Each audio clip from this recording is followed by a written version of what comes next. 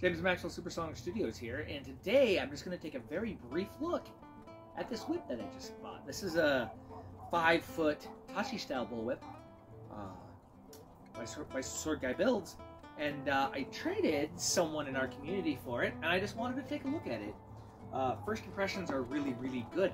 The craftsmanship, of course, uh, coming from that particular shop, uh, is very, very fine. There's nothing to fault there.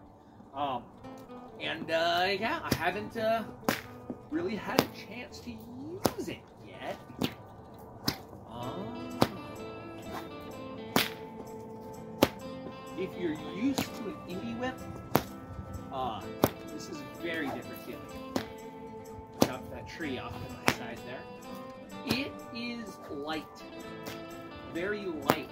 It doesn't seem to hold its uh, acceleration due to mass, right?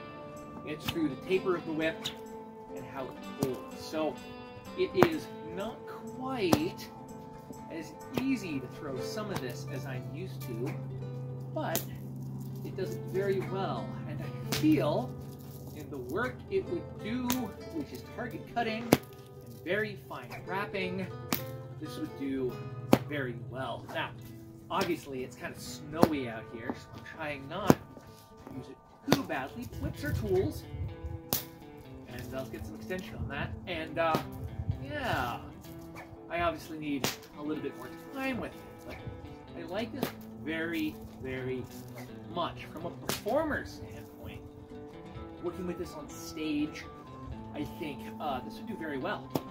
Um, it's about the length of my combat bow, which is why you see me adding some of that into my work here.